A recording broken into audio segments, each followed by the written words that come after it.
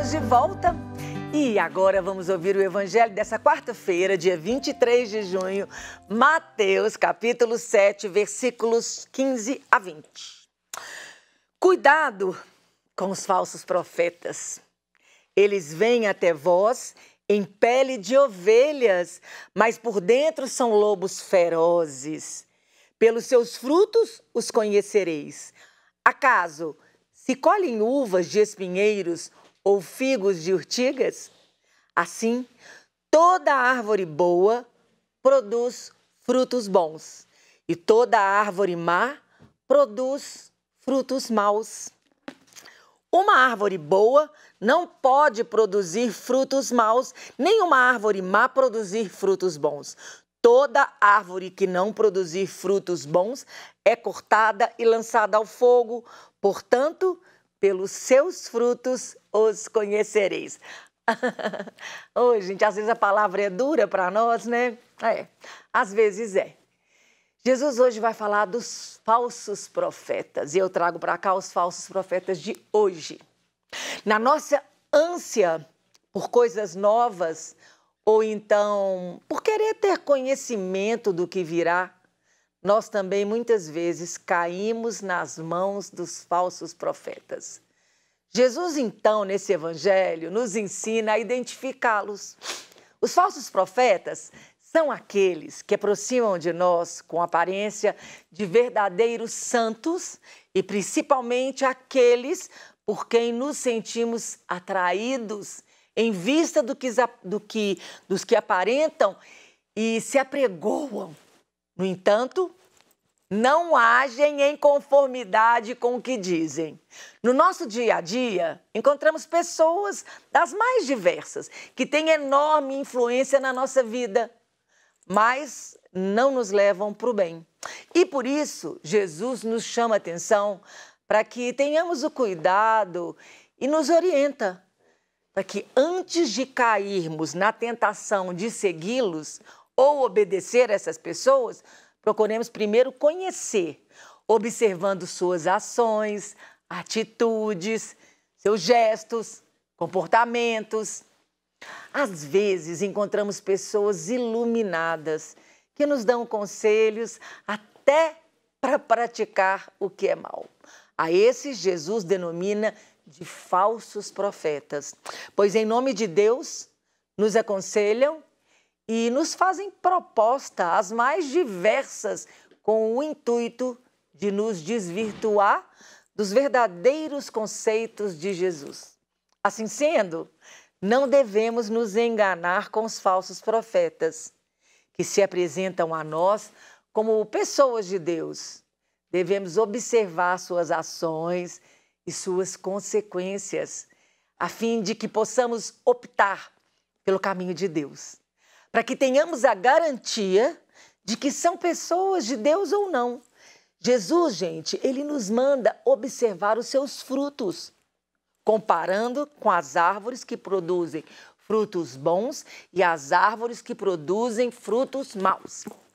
Não nos deixemos enganar. O mal vem do maligno que tenta nos confundir. Mas o fruto do Espírito é o bem, que é cheio de paz, amor, serenidade, bondade, alegria, longanimidade, paciência. Se as pessoas que nos abordam não têm atitudes coerentes com paz, brandura, temperança, serenidade, então, meu povo, ó, já podemos perceber que elas não são árvores que dão bons frutos.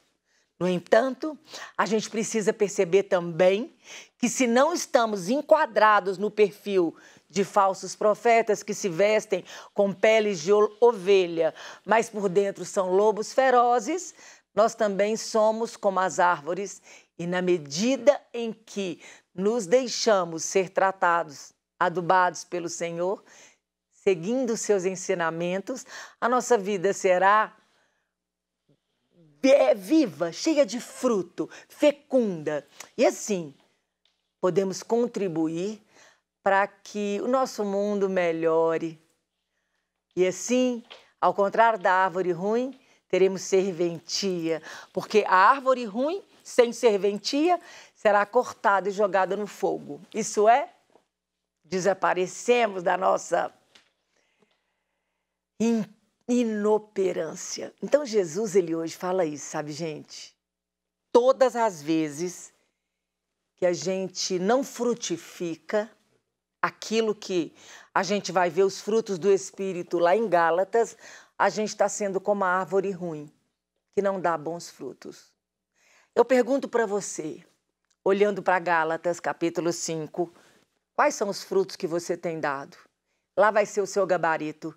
Se você está grudado na árvore que é Jesus, automaticamente você frutificará.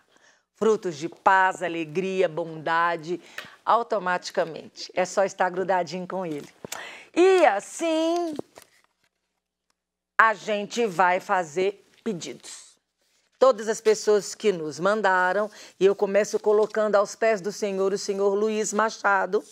Peço oração pela sua saúde, pelos seus negócios e pela sua família.